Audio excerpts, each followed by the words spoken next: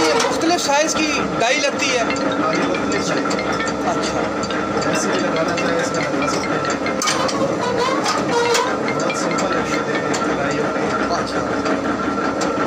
अच्छा ये अपना शीट कहाँ से आसानी से मिल जाती है? शीटें आसानी से मिल जाती हैं शीटें तो कोई मसला नहीं, लाहौर से भी मिल जाती है, कराची से भी मिल जाती है, और फैसलाबाद से भी मिल जाती है, शेखपुरा से भी मिल जाती है तमाम शहरों में अवेलेबल है शीट तो कोई ऐसा इशू नहीं है। बस ये रखा डाई प्रेस करना है ये कटाई हो गई है। ये आ, ये लाल रंग का जो लीवर है। और ये लीवर की है। ये देखिए बिल्कुल ऐसे ज़रूरत ही नहीं है फिनिशिंग की ना। बेहतरीन कटाई हो गई है इसकी। इसको अब दोबारा ज़रूरत नहीं है कि इसको किसी अलग मशीन के ऊपर इसकी जो है ना वो फिनिशिंग करें। वो सीन बिल्कुल नहीं है। और बहुत ही आसान है। सिंपल एक प्रेस करना है ये देखें डाई को रखते हैं नीचे।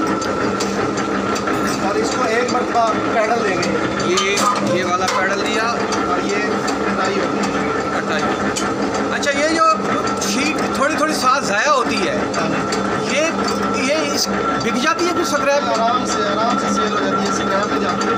और बहुत से लोग हैं जो स्क्रैप का काम करते हैं वो इसकी शीट को जो है मैंने इसको साबित रखा पूरा। आपने जिस बंदे ने भी काम करना ना इसको दरमियान से काट लेते हैं। आराम से काट के इसको पूरा पूरा इसके अंदर जब रखते हैं ना तो बहुत ईजी हो जाता है काम सिंपल सा काम है बैलेंस करना है डाई रख के इसके ऊपर आपने इसको एक प्रेस दे देना ये डाई का ये देखिए किसी भी साइड से कोई भी चीज़ इसकी रह नहीं आती। है ठीक है। बिल्कुल। और ये जो इसके साथ थोड़ा बहुत ये रह जाता है ये एक हाथ से साफ़ हो जाता है। फिनिशिंग में आ जाती है। ये मशीन हम खुद बनाते हैं। बाहर से लेने की ज़रूरत नहीं है। ये कितने की मशीन है? ये डेढ़ लाख रुपए की मशीन है इसके चार साथ चार सांचे होते हैं। सात नंबर आठ नंबर नौ नंबर और दस नंबर। और ये डाई भी बड़ी सॉलिड डाई है।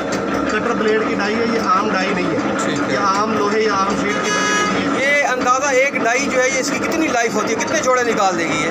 ये वैसे तो जो है ना इसके साथ ये कहते हैं कि ये दो तीन साल कहीं नहीं जाता। सही। ज़्यादा से ज़्यादा इसका इशू ये होता है कि इसका जो ये ब्लेड है ये ख़राब हो जाता है। इसको दोबारा रगड़ाई करके दोबारा यानी इस्तेमाल किया जा सकता है इसका कोई इशू ये डेढ़ लाख रुपये में ये डाइयाँ साथ देंगे आप? होती है अच्छा ये जो मोटर है ये आम तो टू फेस पे चल जाती है। सिंगल पे जो आम घर वाली बिजली है ना हाँ, हाँ। उसी पे चल जाती है।